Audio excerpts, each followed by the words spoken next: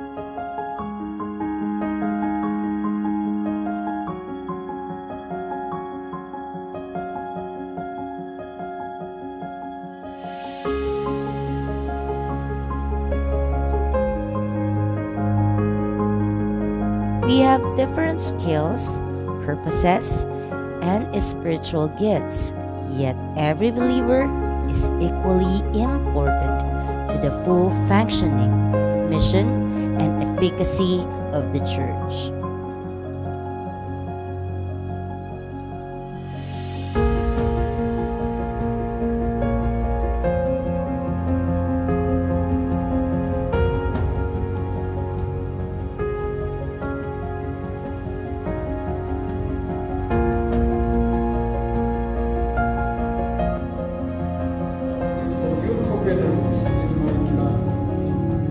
this.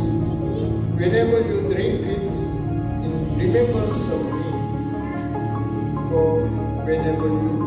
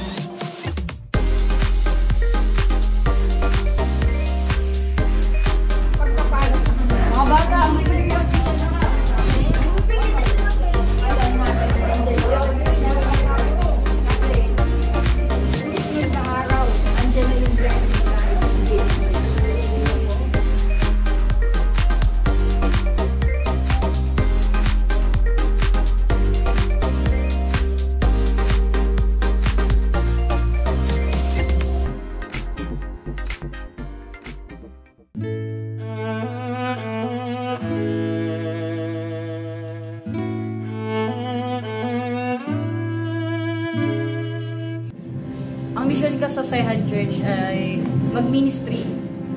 Yung ibahagi yung mga salita ng Diyos sa loob at labas ng simbahan namin. Naniniwala ako na binigyan ako ng tiwala ng Diyos at binigyan niya ako ng lakas ng loob para harapin yung mga ministry na binigay niya sa akin. Even though na mahirap, pero naniniwala ako na bibigyan ako ng kalakasan ng Diyos. Ang mission ko is ibigay ang karapat-dapat na papulit pagsamba sa tanging pangalan ng Panginoon. Isang manunugtog at mga awit na nasa worship team, ang mission ko po ay magbahagi ng salita ng Diyos sa pamamagitan ng musika.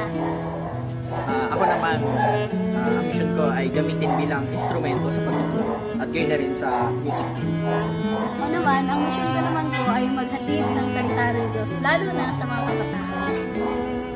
I believe um, as uh, Christian tinawag ka ng pinaka-mission natin is to, to spread the word of God. Alam niyo yung uh, ma-extend yung kingdom ng Lord gamit yung buhay natin. No? Bilang tayo rin na nakaranas ng kaligtasan ng Diyos. Uh, yun din yung puso natin, eh, yung ibang tao, yung uh, makakilala sa Diyos.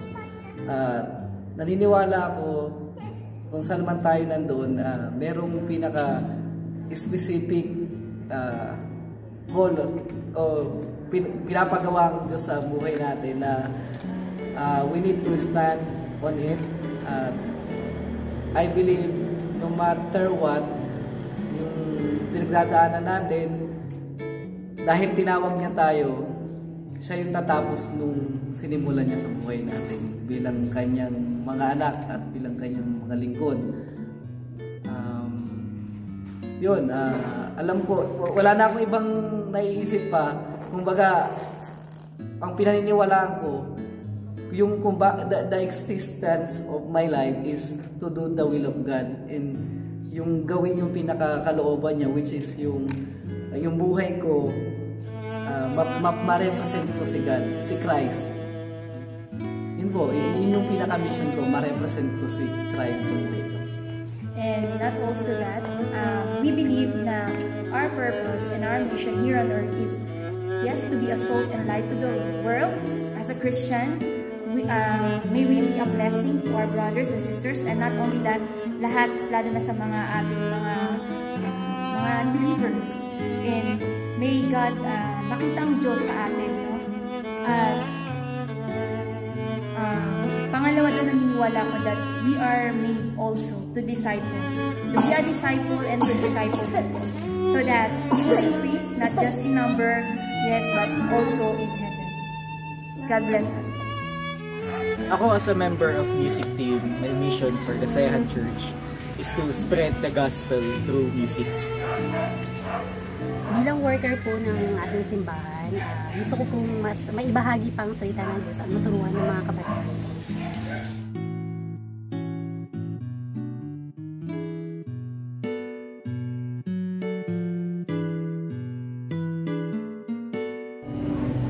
To accept, to embrace, at nagbibigay ng chance sa tulad ko. To make it short po sa lahat na hindi nakakaalam ng story ko bago po ako napunta sa Sayahan Church, magtagal po akong huminto sa paglilingkod at tumalikod po kay Lord.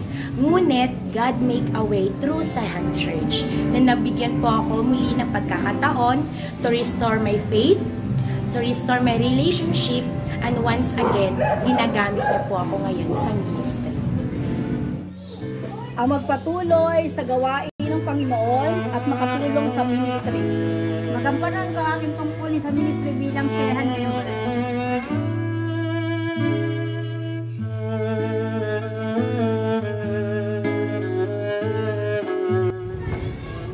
Ang masasabi ko sa Sehan Church is panibagong, panibagong hamon ulit, panibagong araw, panibagong sabak ulit sa panibagong year of sa ating anniversary. Kaya, wish ko lang sa Sayan Church is maging strong, man laban o ano mang pagsubok na tumatay sa simbahan natin. Laban lang. Hanggat, hanggat nandyan yung uh, pastor natin, hanggat nandyan yung leaders natin. Laban lang. Huwag nating hayaan na bumaba o bumagsak yung ating church. Patuloy natin iangat, patuloy natin laganap yung salita ng Diyos at ano natin ipakita na the best pa rin yung kasama natin.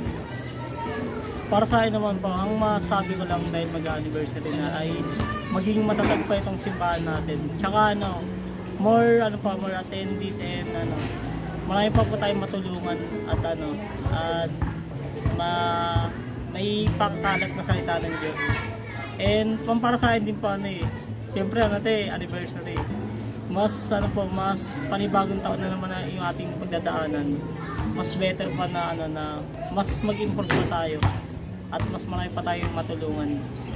Like ministry, and din sa mga ano, kasama po natin din sa church na hanggang ngayon nandito pa rin at hanggang ngayon matatag pa rin.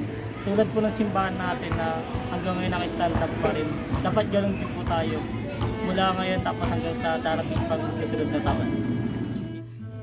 Ang message ko po sa Sehan Church ay patuloy kami magkaisa at patuloy na maglingkod sa ating Panginoon hanggang sa mamit natin ating Panginoong Jesus. Ako po ang message ko po sa Sehan ay patuloy nawa kami na lumago at gabayan kami ng aming Panginoon, ating Panginoon, at maging mabuti ang ating kalusugan. Uh, message ko po sa Sehan Church ay sana po ma-answered prayer na po yung mga prayer request natin. Katulad po ng isang pinag-pray natin na mas dumami po, po yung member natin. And then, sana po magtuloy-tuloy yung working ministry natin. Wisis ko sa ating simbahan ay maging malago at tumatag pa ng matagal. Thank you po. Uh, sa akin naman, ang message ko sa Sihan Church, sana mag-successful kami sa aming anniversary itong taon na to. Happy anniversary, Sihan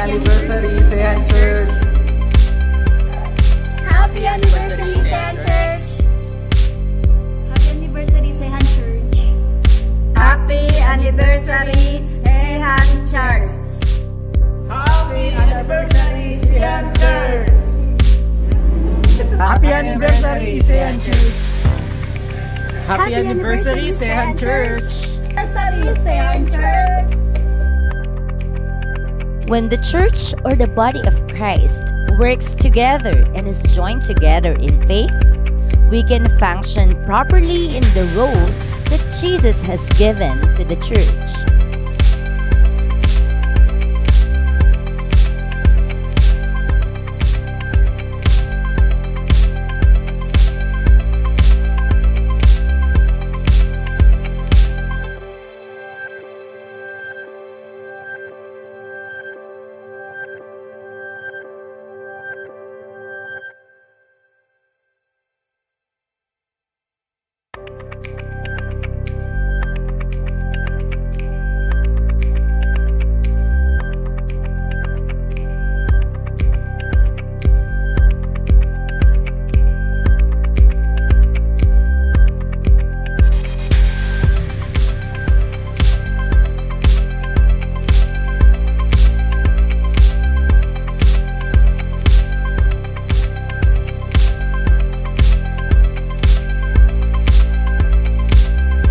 This diversity is something to be celebrated and recognized as part of God's great design for the church.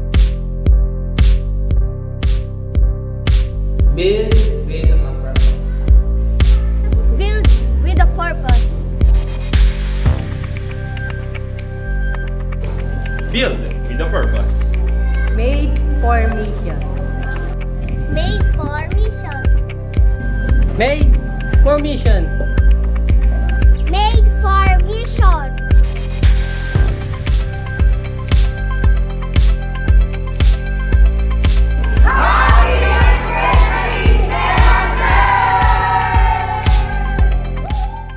G for Jesus Christ.